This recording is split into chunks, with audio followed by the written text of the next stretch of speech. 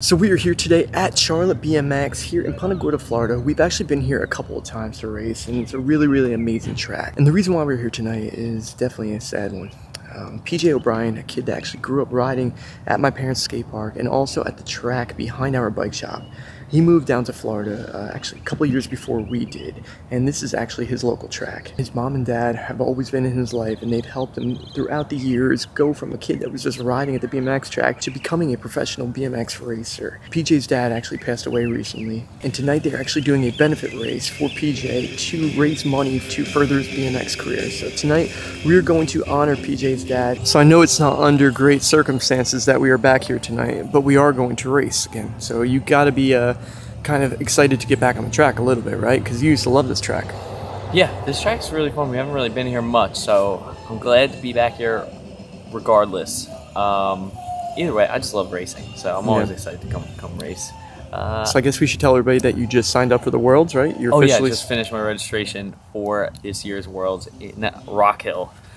This, pretty exciting. I got like two, a little over two months, I think. Yeah, when are the dates? May beginning of May or mid May. Yeah, mid May. So, so, man, that's um, crazy. You got to get to work, huh? Yeah, I haven't really been on the track at all. I don't want to lie to you guys. I haven't touched it probably since I made that video. Yeah, you were flying for a little bit. Yeah, I started to feel really good. I changed up all my equipment. Got some new new clips on my bike. Yep. New tires. Um, this bike's probably going to feel really light today. I'm assuming, right? Oh, I put a new gearing on. What kind of gearing you got? Let's see. What do you got? I went up to a 45, 45? 16. Okay, so a little bit taller gear. I just uh, kind of want to try it out. There's a little bit of the experimental phase. I used it at Naples one day, mm. and uh, I can't say it felt good. It was too hard for how flat. track is? Yeah, that track is so off the gate. Okay. This might feel a little better, a little more it's downhill. got a steeper, uh, you know, starting hill for sure. And this got to be a, I mean, not, I'm not gonna say a longer track, but a more open track. Yeah, I think so. so it should be beneficial. Okay. I would think. That's exciting. We'll so. see what happens with that one. So we're actually one of the first people here. Nobody's even showed up yet. So we're gonna try to have a good night in honor of PJ, PJ's dad, PJ's mom, and uh, we'll see what happens. So that's PJ on the gate all the way to the right side of the screen. Just talking to him. So he just got this new bike.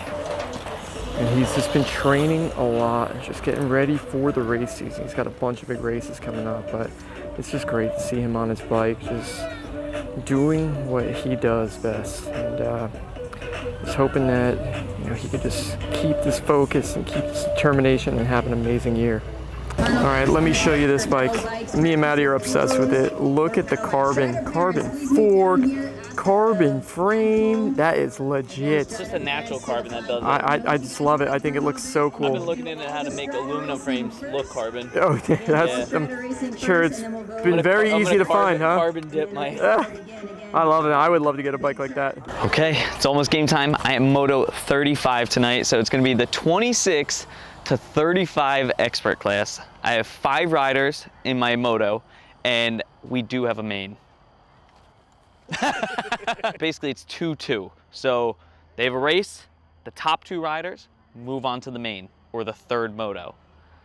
They have another race with only three riders, the top two move on to the moto, so one person gets dropped. But enough said, we're gonna get into the races right now, so wish me luck. All right, so this is Matty's first race right now. He's on the gate, there's five riders. He's gotta get top two to move on.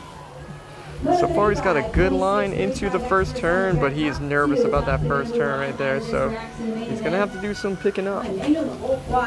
Ooh, Matty went to the outside. That was not the fastest line. He's got some work ahead of him right now. He has got to do a full pull in this last straightaway to be able to move on, or he's going to have to do another race. We're going to see right now. I don't know what to say.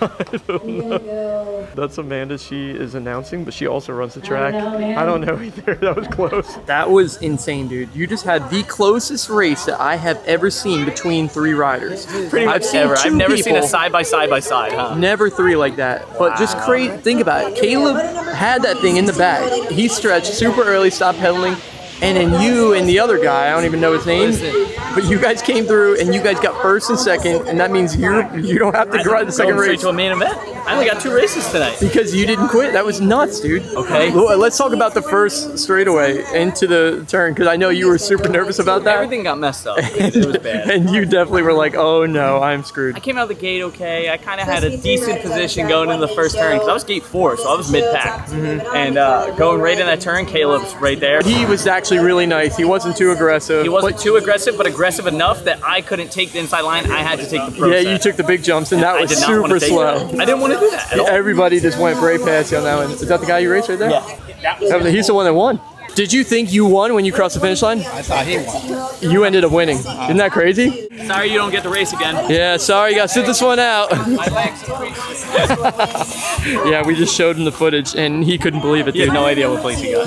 He- We're just like, hey, you won it. He's like, I He's like thought looking you around, won. like he's like, wait, what? because I thought you won. Crazy. Unbelievable. So well, much controversy. Yeah. Moto 35 is chaos. it was. But hey, I'm excited about this main now. This is gonna be a lot of fun. Dude, I think. Oh wait, no, I don't. You get to use. I had gate eight next, Oh yeah, so I would have been. I would have been pro set no matter what. true. Okay, well we'll see what happens in the main. this is gonna be fun. All right, so we're up in the announcer's tower right now, and uh, the first race I'm gonna be showing you out of the mains is actually the open race. So this is gonna be pro. This is gonna be all the fast kids. Um, I'm gonna show you this race because it's gonna be epic. So this is exciting. So you're gonna see this one first, and then we're gonna see Matty's race. Here's the race. Gate's about to drop. It drops down, bro. Open, Wow. hundred dollars on the line in Eight riders. One. PJ. No one better than Mr. PJ O'Brien out front, sitting in the Oh, one gotta spot. get some gonna go focus. Rydell sitting in the two spot. Barndell in for three.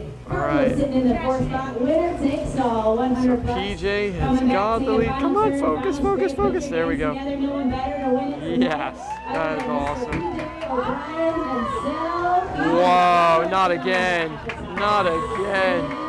All right, so Matty is now on the gate. It looks like he's got gate four. This is a really good gate for him as long as he can get a good start. He needs some strong pedaling down this first straight. He's not an aggressive rider at all, so he needs to be the first one out of that first turn. So far, he's got a pretty good jump on the guys. A lot different than the first time around. The guy behind him, he knows what he's doing. He's good. Matty went on the inside line that time, didn't take the pro set. All right, let's see if we can get a good shot of Matty landing or going to the last one. Oh, Matty is flying right now. I don't think there's going to be a close call this time, but definitely awesome to see Matty get that win. Oh, that was pretty close at the end there, Ken. Wow. That went pretty smooth compared to the other one. But let's talk about what really happened. Why was that race substantially um, less challenging than the first one?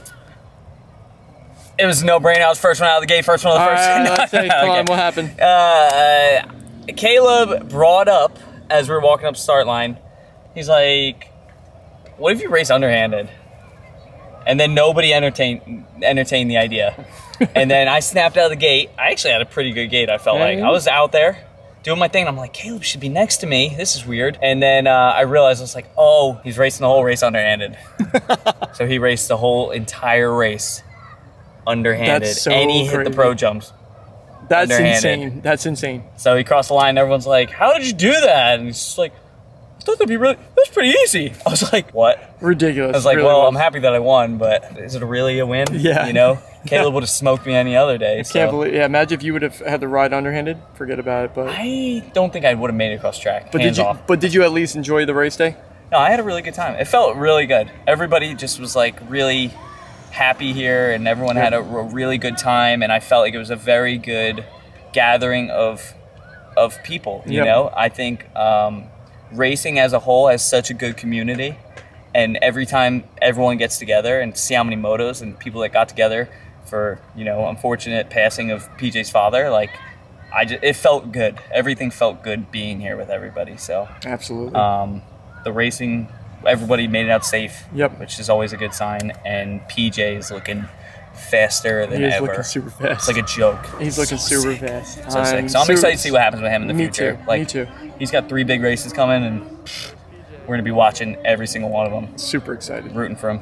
And speaking about PJ, tonight they donated everything to PJ's family. I mean, all the entries, all of the food money, all the shirt money that they were selling, like everything went to PJ and his family. Like BMX is amazing, and I'm just so happy to see that PJ is still doing what he loves and he's still pushing out his BMX bike in honor of his dad, you know, and that's really, really amazing. But yeah, I want to say huge shout out to Charlotte BMX here. If you guys are interested in racing, you guys are in this area in Punta Gorda, make sure you come by. Everybody here is so nice. They run this racetrack amazing, and I'm so grateful that we live close enough that we can be part of it as well, we plan on being part of it more. So that's it for this one, guys. We'll see you in the next video.